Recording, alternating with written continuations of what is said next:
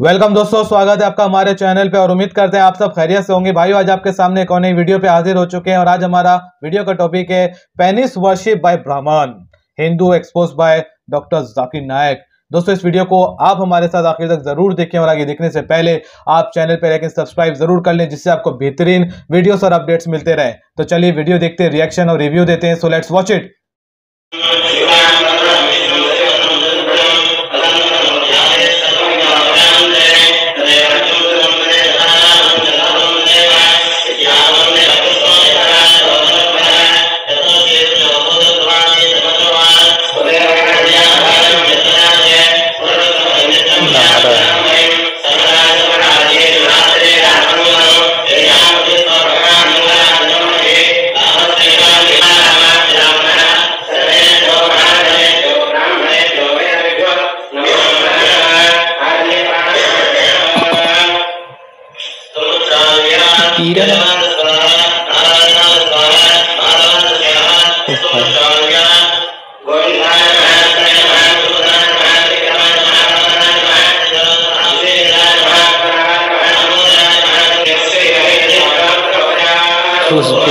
दूसरे साथी हैं वो भी नॉन मुस्लिम हैं। उनसे ख्वाहिश है कि वो तशरीफ़ लाएँ माइक नंबर एक पे।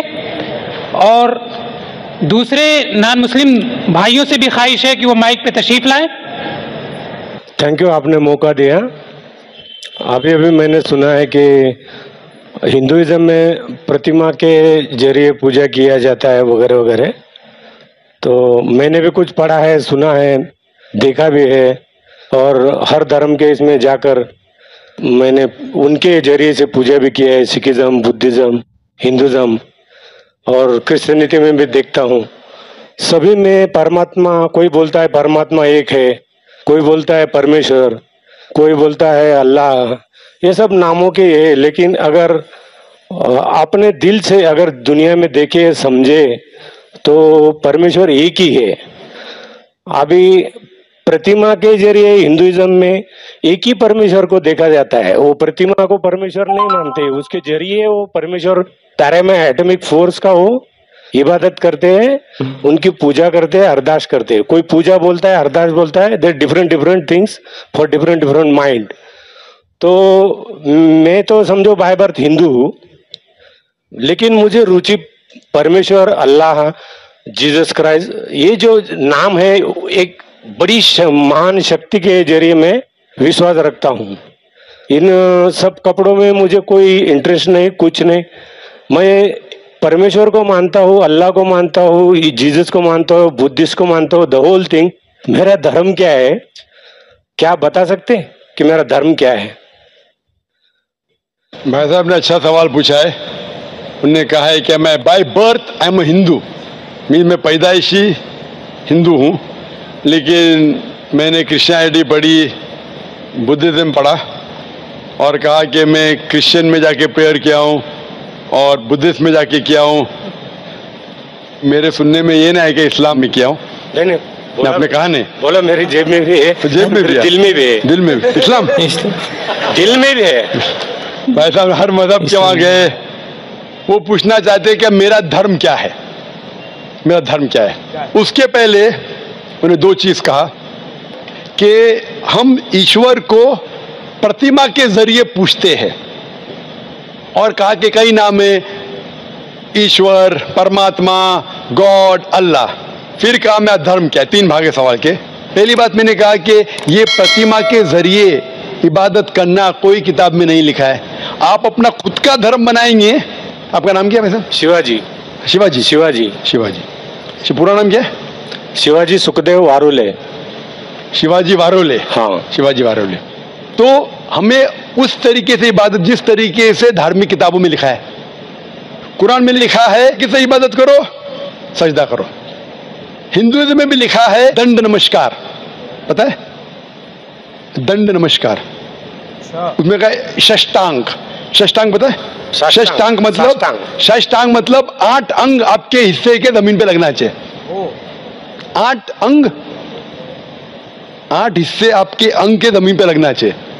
आठ अंग माथा नाक दो हाथ दो घुटने और दो पैर। अब मेरी आठ तो हो गए ना? सब मेरी तो एक ही टांग है एक स्वर्ग में गई है तो मैं साष्टांग कैसे कर सकता हूँ? हाँ वेरी गुड वेरी गुड मिसाल के तौर पे कुरान में लिखा है आम तौर पे अगर सूर्य निशा में सूर्य नंबर चार आयत नंबर 101, 102, 103 में अगर आप तकलीफ़ में अगर खड़े रह के नमाज़ नहीं पढ़ सकते बैठ के पढ़ो। बैठ के नहीं पढ़ सकते लेट के पढ़ो।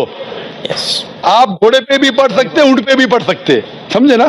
मिसाल के तौर पे उसका मतलब आप खड़े नहीं सकते बैठ के पढ़ो। बैठ के नहीं तो लेट के। तो आठ नहीं सात है ना? सात नहीं तो छह भी चलेगा जितने उतने। नमाज़ कबूल हो लेकिन आठ है और आठ होके बोलेंगे मैं सात करूँगा तो गलत है। आठ है तो आठ करना चाहिए। बैठ सकते हो तो बैठ के करो। आप समझे ना? अगर खड़े सकते तो खड़े रहना आपके लिए ज़रूरी है। मैं खड़े सकते फिर बोलूँगा, बैठ के पढ़ो तो सही बात नहीं। तो उस तरीके से इबादत करना, जिस तरीके से लिखा है कुरान में या वेद में।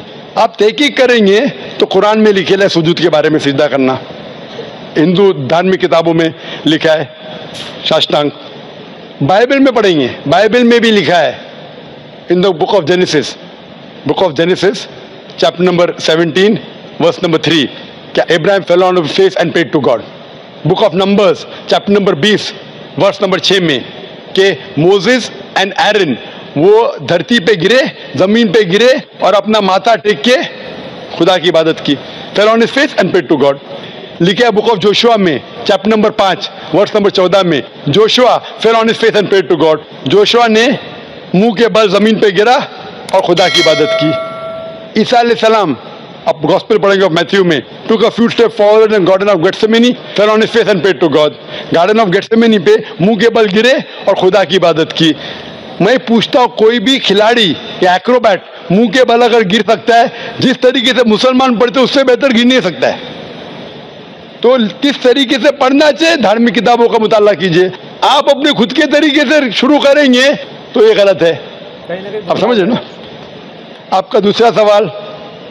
खुदा बोलो, अल्लाह बोलो, जीसस बोलो। कुरान में आए थे सुर इसरा सुरान नंबर सत्रह, आयत नंबर 110 खुलिदुल्ला अबिदुररहमान आय मातदु फलाल अस्माउल हुस्ना। कहो, अल्लाह, या रहमान, जो भी कहो, लेकिन बेहतरीन नाम कहो।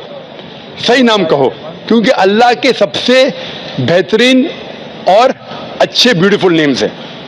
कुरान मजीद में कहा गया है कि आप कोई भी नाम से अल्लाह को पुकारो, लेकिन सही नाम से पुकारो। और कुरान मजीद में अल्लाह के निन्यानवे नाम हैं। अल हकीम रब अर रहीम हिकमत वाला रहमत वाला और सबसे ऊँचा नाम है अल्लाह। ये जो कुरान मजीद में लिखा है कि अल्लाह के सबसे बेहतरीन नाम है। सूर्य इसरा सुरा नंबर सत्रह, आयत नंबर 110 के अलावा। सूर्य तहा सुरा नंबर 20 आयत नंबर आठ। सूर्य अराफ सुरा नंबर 7 आयत नंबर 180 में। और सूर्य हशर सुरा नंबर 56 आयत नंबर 24 में कहा गया है कि सबसे बेहतरीन नाम है अल्लाह ताला के। लेकिन हम मुसलमान अल्लाह को अल्लाह के लफ्ज़ से क्यों बनाते हैं? क्योंकि ये अरबी लफ्ज़ अल्लाह में मिलावट नहीं है। बाकी सब लफ्ज़ में मिलावट है। मिसाल के तौर पे गॉड लो। गॉड में एस ऐड करेंगे तो हो जाता है गॉड्स। कुरान में कुल वल्लाह कहो कि अल्लाह एक है। अगर हम गॉड पे ऐड करते डी ई एस एस हो जाता है गॉडेस मुअन्नस, खुदा फीमेल गॉड इस्लाम में ना मेल गॉड है, ना फीमेल गॉड अल्लाह क्या? कोई जिन्स नहीं। अगर मैं ऐड करता हूँ फादर हो जाता है गॉड फादर वो मेरा गार्डियन है, वो मेरा गॉड फादर है, वो मेरा देखभाल करने वाला है। इस्लाम में अल्लाह अब्बा, या अल्लाह फादर जैसा कोई चीज़ नहीं। अगर मदर ऐड कर हो जाता है गॉड मदर इस्लाम में कोई अल्लाह अम्मी, अल्लाह मदर नहीं है। अगर मैं टिन फ्री फ़ीस करता हूँ गॉड के आगे हो जाता है टिन गॉड मतलब फेक गॉड मतलब बनावटी खुदा। इस्लाम में कोई टिन अल्लाह नहीं है। इसीलिए मुसलमान अल्लाह को अरबी लफ्ज अल्लाह से पुकारना बेहतर समझते बनस्बत गॉड आप लोग परमात्मा, आत्मा, परमात्मा, ईश्वर, परमेश्वर, कुछ भी लो, उसके मिलावट है। अगर मैं कहूँगा देव, हो जाता है देवी, हो जाता है देवता। देव, देवियाँ, देवता। आप समझे खुदा। खुदाओ खुदादाद सब में मिलावट है। इसीलिए मुसलमान पसंद करते अल्लाह को अल्लाह के लफ्ज़ से बुलाना। आपका आखिरी सवाल। आपका आखिरी सवाल। आपका नाम क्या आपने कहा शिवाजी क्या? शिवाजी वारुले। वारुले। आपका आखिरी सवाल। कि आप कौन सा धर्म फॉलो करते? आपका धर्म है शिवाजी वारेले का धर्म। शिवाजी वारेले का धर्म। ये सही धर्म नहीं है। आपको मानना चाहिए खुदा का धर्म। अल्लाह का धर्म। और वो धर्म सबसे बेहतरीन उस धर्म के बारे में लिखा है। ये कलाम। मैंने कहा ना इंस्ट्रक्शन मैन्यूल ये इंस्ट्रक्शन मैनुअल कुरान है जो खुदा का आखिरी कलाम है, जिसमें लिखा है किस तरीके से इंसान को अपनी ज़िंदगी बसाना चाहिए, किस तरीके से इबादत करना चाहिए और क्या चीज़ करना चाहिए। मैं खुद के ऊपर फॉलो करने लगूँगा तो नया धर्म इजाज करूँगा। तो मेरी आपसे दरख्वास्त है कि आप कुरान मजिद को पढ़िए। उसका तर्जुमा पढ़िए, अंग्रेज़ी में पढ़िए, हिंदी में पढ़िए, मराठी में पढ़िए। और इस पे अमल कीजिए, फिर मैं कहूँगा, आप वो धर्म मान रहे जो खुदा का धर्म है। तो दोस्तों, ये था वीडियो। वीडियो की शुरुआत में बड़ा ही शॉकिंग सीन हमें देखने को मिलता है। शॉकिंग ये रहता है कि भाई, पेनिस की पूजा करते हुए लोग दिखते हैं। ये बड़ा ही शॉकिंग था। और उसके बाद फिर हम देखते हैं कि जो वीडियो स्टार्ट होता है, उसके बाद जो जानकारी मिलती है, भाई औसम थी। शिवाजी का सवाल ये था, भाई का कि भाई साहब, उन्होंने बहुत सारे मजहबों का बारे में मालूम की है, लेकिन वो बेचारे कन्फ्यूज़न में आ गए कि किसको माने और वो किस धर्म पे हैं आखिर? क्रिश्चियनिटी पे है हिंदुई पे है या इस्लामिक पे है? मतलब क्या एक तो कन्फ्यूज़न में थे बेचारे। लेकिन डॉक्टर जाकिर नायक ने बहुत अच्छी तरीके से जवाब दिया और जवाब ये था कि खुदा एक है और उसके बारे में हर एक चीज़ डिटेल में कुरान शरीफ में लिखी हुई है और ये भी बताया कि खुदा ने जो इबादत करने का तरीका, इन्होंने ये सवाल भी पूछा था कि लोग जो है वो परमात्मा की प्रतिमा बना करके भी पूछते हैं तो ये क्या है? तो गलत है ये, क्योंकि हर किताब बताती है कि खुदा एक है और उसके वर्शिप करने का भी तरीका, इबादत करने का तरीका भी जो है वो किताबों में है, वो ये है सजदा करके, है ना? इंसान जैसे अभी मुसलमानों में नमाज़ है पाँच वक्त की तो उसका पूरा एक प्रॉपर तरीका आखिरी पैगंबर मोहम्मद सल्लल्लाहु अलैहि वसल्लम से सीखने को मिला।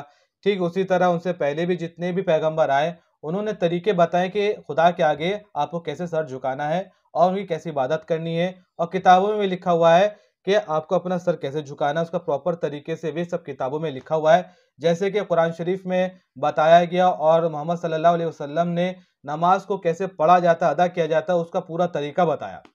ठीक उसी तरीके से गॉड की कोई प्रतिमा नहीं है। अल्लाह की, खुदा की कोई प्रतिमा नहीं है। आप उसको अच्छे और बेहतरीन नामों से पुकार सकते हैं। रहमान, रहीम, है ना, पालने वाला, रब, बहुत सारे नाम है जिनको आप बेहतरीन नामों से उनको जो है वो पुकार सकते हैं, बात कर सकते हैं। लेकिन उनकी कोई भी प्रतिमा या फोटोग्राफ्स या पेंटिंग्स या मूर्ति उनकी नहीं है और बनाने भी नहीं चाहिए। क्योंकि अल्लाह ताला सीधा बोलते हैं कि उनकी कोई आगे पीछे ना माँ बाप है, ना भाई बहन है, ना बीवी तक भी नहीं है। तो वो वाहिद एक है।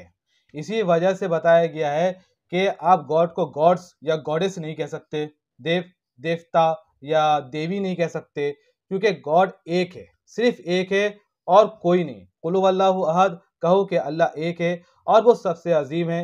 और ना ही उन्होंने किसी को जना, ना ही किसी ने उनको जना। सीधी सीधी बातें जो है वो किताबों में दी हुई है, जो कि इंसान अच्छे से पढ़ करके समझ सकता है और आगे लोगों तक भी बता सकता है। अगर लोग कन्फ्यूज़न में तो वो इससे दूर हो जाएँगे और सीधे रास्ते की तरफ़, सही रास्ते की तरफ़ आ सकते हैं।